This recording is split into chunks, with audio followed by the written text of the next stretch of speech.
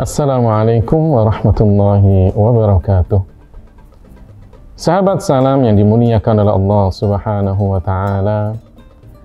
Rasulullah Shallallahu alaihi wasallam di samping membawa perintah, beliau juga melarang kita dengan beberapa larangan. Wa ma atakumur rasulu fakhudhuhu wa ma nahakum anhu fantahu.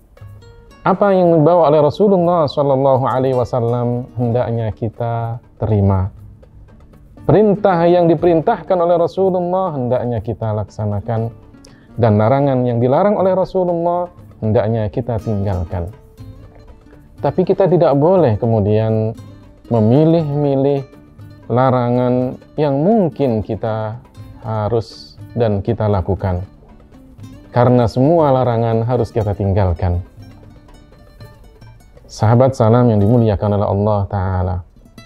Setiap larangan pasti ada akibatnya.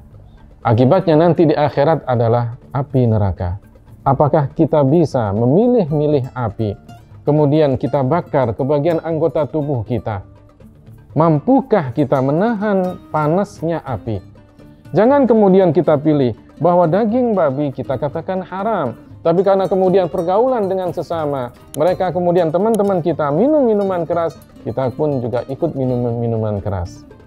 Babi haram minum minuman keras, katanya jika sedikit dan tidak memabukkan dihalalkan.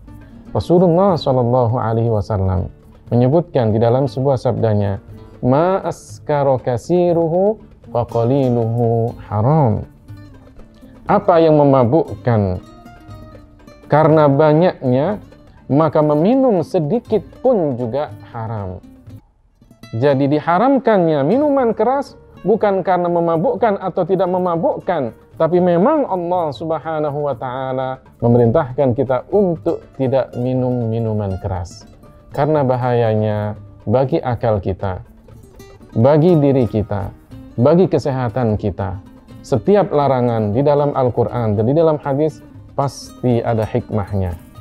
Jagalah diri kita, jagalah kesehatan kita, jagalah generasi muda kita karena kita adalah tumpuan dari bangsa Indonesia ini.